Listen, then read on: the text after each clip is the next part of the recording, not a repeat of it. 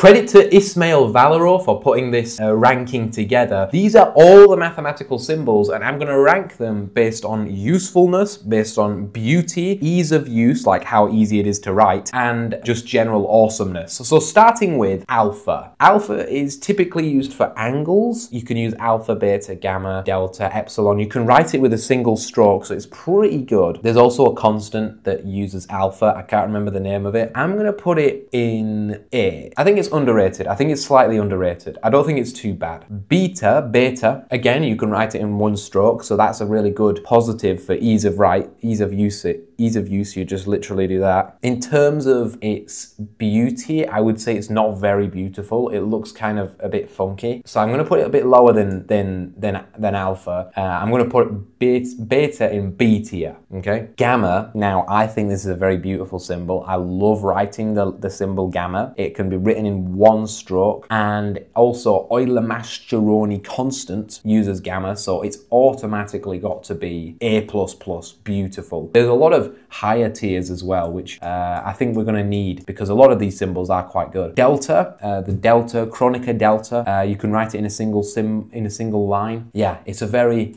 solid mathematical symbol. Everybody knows that it's kind of, it looks a bit like a snake. Everyone knows that it's kind of mathsy. So I'll put, I'll put it in, I'll put it in pretty cool. I think it's pretty cool. Um, like this video, by the way, if you think that I'm pretty cool. Epsilon is, I don't like it, and I'm going to tell you why. First of all, it's not as easy to write, in my opinion, especially because it's like, I mean, yes, it is only one stroke, but it's like, it's not like a loop. You don't really want a loop in the middle. You want an E, basically. I don't, I just don't like writing it. Xi, actually, no, I'm thinking of Xi. Xi is horrible to write. This one, it's not horrible to write, but it's not very pretty, I would say. And I don't really know where it's used, so I'm to put it in C. Yeah, I'm putting tier. Zeta, zeta, used in the Riemann zeta function, obviously, and it is quite beautiful, but not, it is it's easy-ish to write once you get the hang of it. Yeah, I would say this one, this symbol, this symbol's probably underrated. I'd say it's probably underrated. It's probably A tier. Eta, now this is easily confused with an N or some kind of misspelling, or it, it just looks like a weird letter. It doesn't, it doesn't look nice. It just looks weird. It looks lopsided. So it, it, it's automatically probably mediocre, and I don't really know what it's used for. So I think I put in trash, honestly. Um, and if if you find if you get offended by any of this, I don't care. Like literally, just go and throw yourself off of actually done. I can't say that on YouTube. Uh, I'll get the video demonetized. Uh, throw yourself off of the floor and onto your bed and go to sleep and take a nap. That's what I meant to say. Theta. Theta kind of looks to me like a pill and I don't like pills. I don't like doctors. I don't trust doctors. Doctors are controlled by lizard people. So we're going to put that in uh, trash. Next, we've got iota. Okay, iota is, uh, is, is easy to write, very easy to write. It's probably the easiest to write symbol. It looks, again, like a, it doesn't look very good. It looks like a mistaken letter. So I put it in mediocre. Okay, it gets points for being easy to write, but it, it doesn't, it, it's gotten really no other qualities other than that. And also people, people talk about iota as like a little thing, like iota. So everybody kind of knows it, which gives it a point, but still, it's not very great. Kappa, not very easy to write. You have to put three lines, maybe two. Uh, it does look beautiful in my, my opinion. So I'm going to give it a point D. I'm to put in D tier. Lambda. Now this one is used for length, wavelength. It's used, so it's used in physics. It's used for when you've got lambda, mu, and nu. These three symbols are used together in uh, like physical, like mechanics equations, basically. So I'll say I, I like these three letters. I like these, you know, generally I would put them in A. Lambda, mu, and nu. Mu's my favorite. Nu's not so good because new kind of, it, it, it looks like a V. And again, it looks like a broken V. It looks like you've made a mistake. So I don't like how it looks. Next, we've got psi. You use this in like uh, physics when you're dealing with certain permutivities, I think. Permit oh no, I'm thinking epsilon. Again, it's so bad, it's such a bad, terrible symbol that it can very easily be confused with epsilon. And it's also terrible to write. So this is, if there was a tier below trash, psi would be in that tier. And it's not even easy to say. Psi. Psi. Like pi, eh, I think it's overrated. I honestly think pi is over overrated because you, you need three strokes to write it. Yeah, that that automatically makes it terrible. But then also, I don't think it's that pretty. I think it's like, it's all right, but a lot of people just do three lines, which just looks really boring and bland, and they have to kind of stylize it a little bit and bend the lines just to make it look pretty. I don't think that's, it's very pretty naturally. Omicron, terrible letter. Never use Omicron, okay? It, it's gonna be mistaken for an O, which can be mistaken for a zero, and uh, who uses Omicron. Next, we've got Rho, which is used for resistivity. Um, it's an easy thing to write. It's kind of okay on the eyes. Um, it looks a bit like a, a rotated sigma. I'm put it in. I'm gonna put it in B tier. It's normal. Same with sigma. Sigma, they're, they're okay. They're okay. Tau. Uh, Tau automatically gets in legendary tier. Upsilon, terrible, terrible. It looks like a V. It just looks like a V. It's terrible. You've got Phi, which I think is a very nice symbol. I'm going to put it up with Lambda. Maybe even actually I'll put it with Mu because Phi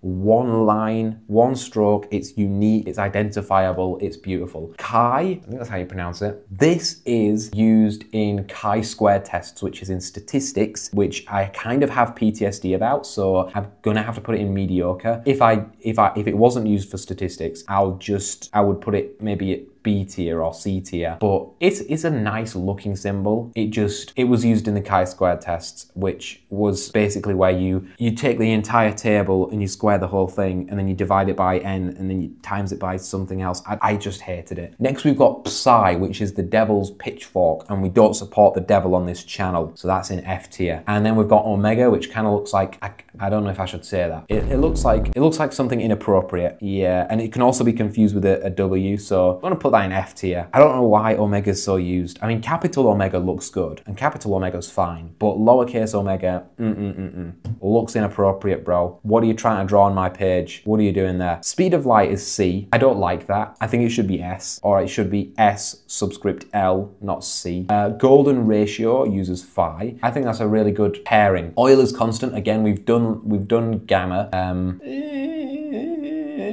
I'll put it. I'll put it in. I'll put it in here. Okay, it's a very nice symbol, uh, and it's a very nice constant. Planck's constant H makes no sense. Why H? Why not P? Or why not PL? You know, why H? Reduce Planck's constant, same thing. I mean, the, the slash makes makes the reduced make sense. Okay, fine. Planck's constant should just be P. Vacuum magnetic permeability and also vacuum electric permeability. Now, I remember this in physics. You basically have these equations which use the vacuum, and it's when electrons are permeating through or charges are permeating through. Very useful constant, not very, I mean, it's kind of pretty. Um, it makes sense to put a zero there because that's like a vacuum, right? So I, I put it in, it's a solid, it's pretty cool. Same with this one. Actually, this one uses a slightly less cool symbol, so I'll put it in underrated. Uh, gravitational constant. Graham's number is big G. What are you doing gravitational constant? Nah, I'm joking, I'm joking. Graham's number is not useful for anything. So gravitational constant being big G makes a lot of sense. I'll put it in A++.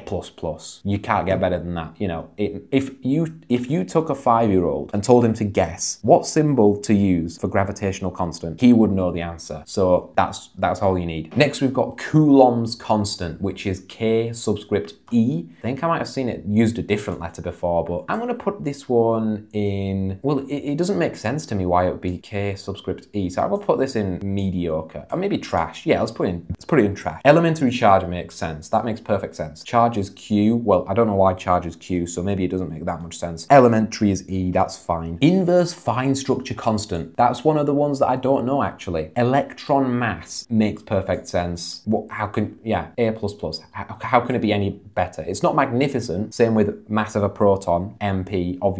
Uh, Avogadro's constant, this is number Avogadro, so they should really call it Avogadro's number. Avogadro's, Avogadro, Avogadro's number. Avocado, Nikocado Avocado made a number, and it's a very small number. So we'll put it in, we'll put it in B. I think it's A actually. I think it's underrated. Okay, so next we've got molar gas constant and Faraday's constant. Faraday's constant makes sense. We'll put it in with all the other ones that make sense, but molar gas constant, sorry, that's just terrible. Arrow makes perfect sense. I know that some Americans use an arrow with one like tick on the top rather than both on the top. Some uh, in England, a lot of times you just underline it, which I actually think is not very good because a vector is an arrow. Just use the arrow on top. So I'm gonna say this is magnificent. That is proper STS stuff. Boldface vector, terrible, terrible. Use the arrow okay? Boldface, you can't even write it down. So what's the use in that, you know? And yeah, it's also kind of difficult to see sometimes. So L variant, what else letter would you use? Use a curly L. Um, and the curly L is nice, so I'll put it beautiful. Beta variant, I think this is kind of beautiful, easy to write. Uh, I don't really know what it's used for, so I guess I'll put it in unknown, but I would put it in A tier. Epsilon variant, epsilon's a terrible symbol. That one gets confused with the other one. How, how do you know when to use the epsilon like that and the epsilon with the two things? How do you know when to use that? Theta variant, this is again one that can get confused with theta, uh, put it in trash. Uh, kappa, who writes kappa like that? Uh, I mean, I guess it gets a little bit better points because it's at least unique and it's nice to write, but still, call it something else. Next, we've got pi variant. This is used in the lemniscate, I believe. It doesn't look a lot like pi, but I think it looks okay. Um, I'm going to put it in C. All right, now we've got rho variant, sigma variant. Sigma variant is not very good because it can be confused with zeta or epsilon even, or, you know, it, it, it can be even confused with C when you write it down. So uh, I'm going to put it in trash. Rho variant, however, that is a quite a unique symbol and it's also quite beautiful and easy to write. So that's pretty cool in my opinion. Phi variant, this I actually don't like, okay? Because whenever you write this down with the line and then the circle, it's like, it never looks as good as it looks here. It never looks good. It just looks like, I don't know, just a bit trash. So I'm gonna put it in trash. Time variable, uh, what else letter would you use? Pretty cool, yeah. Imaginary unit, don't use J, okay? I know if you're an engineer, you like to say pi is three and I is J. Like, bro, come on, what are you doing? Equals, yeah, it makes sense. Uh, I was one time thinking of like, I don't know, just like doodling around like, oh, what would I design the equal sign like? I would have probably put like two arrows or something, but that would have just been a little bit harder to write because like this one's this one and it goes, because it goes both ways. But I don't think that that's really important. Not equals makes perfect sense. It's just beautiful. Same with equals, to be honest. Uh, plus makes sense. I'm not against it. Minus, yeah, it can be confusing a little bit with negative or, well, I mean, they are the same thing, but with the dash symbol, right? It just looks like a dash. So I put it in, I put it in normal. Um, times, I'll put it in with plus. And I mean, actually that can be confused with X. So I'll put it in with minus as well. And the divide symbol is, I think, beautiful because the reason the divide symbol looks like that is because it's actually a fraction. Because when you have a fraction, one over two, you're really saying one divided by two, and that's just a fraction. So that symbol is perfect. Don't use the slash symbol, okay? The slash symbol, if you're gonna use the slash symbol, you might as well just put one over the other and make it a fraction. Um, less than and greater than, these make perfect sense because you've got basically the smaller thing on the left hand side, the bigger thing on the right hand side. Of course, you're gonna have wider on the bigger side, narrow on the small side, and that makes the symbol. So that is, I mean, it can get confusing. A lot of people get them the wrong way around. So I'm gonna put them in normal, but actually not overrated. I'll put them in overrated because there is that downside to them. Uh, these make perfect sense. So I'll put them in pretty cool because obviously you're gonna just blend the two signs, the equals and the less than and the equals and the greater than. Square root, it's a big R, uh, which makes sense. And I think it's quite a nice looking symbol as well. So I'm gonna put this in beautiful. Next you've got caret, which I don't know what caret is. Next you've got if and if and only if. These make perfect sense to me. I love these symbols and they're beautiful to write. They just, I just love them. Uh, belongs to, yeah, that is a not a great one actually because it can be confused with the epsilons. There exists is perfect though. It's a backwards E, it's unique, can't be confused, it's easy to write, it's just a backwards E. Therefore, in university, they don't ever use this symbol and they actually penalize you if you use it. But I think it's a very good symbol. I think it's a nice conclusion statement. You know, you write therefore, you just put three dots in and it's unique as well. For all, again, just like the backwards E, it's a very nice symbol, very nice symbol because it's big A is obviously all and you just put it upside down to make it unique. So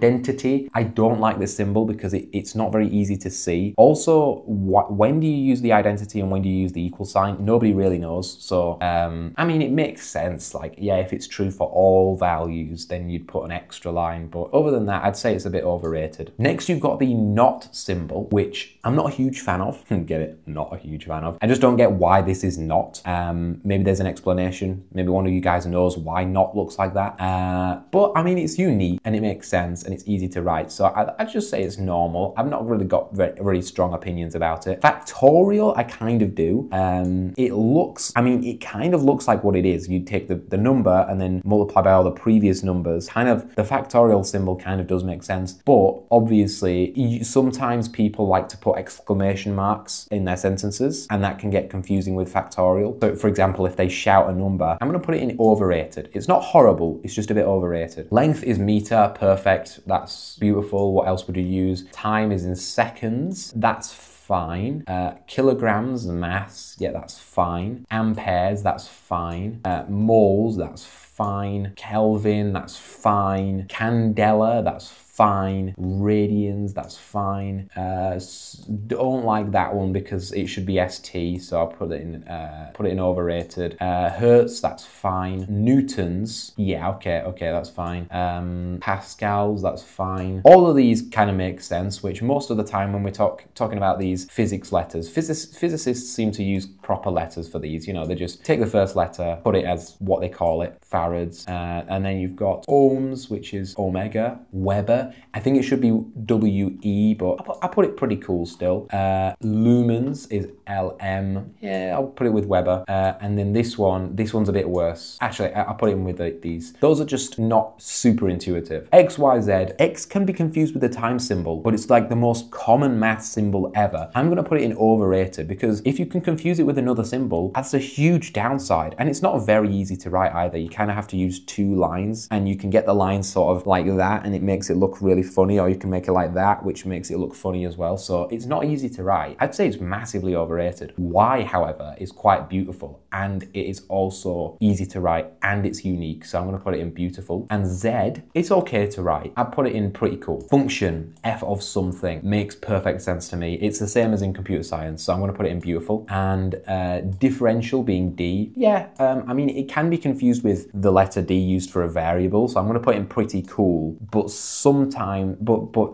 but yeah, you've got partial derivative, which is better because that's not going to be confused with a, letter. That's kind of its own thing. You wouldn't really use the, the del symbol for anything else. I prefer Newton's notation personally, just because this to me can be confused with image, like I image, like I dash for I image or A dash for the image of A when you do transformations. Um, so this is going to be up there with beautiful. This is going to be a little bit lower at normal. This integral sign, I like it a lot. I think that everybody, every every mathematician likes it. Like, it's a bit magnificent, to be honest. Closed integral makes perfect sense. Nabla, it's all right. It's all right. I mean, yeah, it's, it's a good symbol. It's easy to write. It's beautiful. Capital sigma for sum. Yeah, that's very nice symbol. Capital pi for product is obvious. Makes perfect sense. Direct sum and tensor product. Uh, these are just sum and product, but with circles around them. And I think that that makes them instantly very intuitive and very beautiful. A transpose can be confused confused with a to the power capital T because it's not actually a to the power capital T, you see it's a to the power of the top symbol. So it's not in beautiful, but it is pretty cool still. Infinity, very recognizable. I think that's legendary. You can't beat infinity. Aleph, uh, for Aleph null, yeah, it's pretty good. It, it, it, it, it, looks ominous and it looks like how infinity should look. Euler's number for E, mm, that can be confused for other things though, but it does make sense to use E for Euler's number. I put it in A+. plus. I would have personally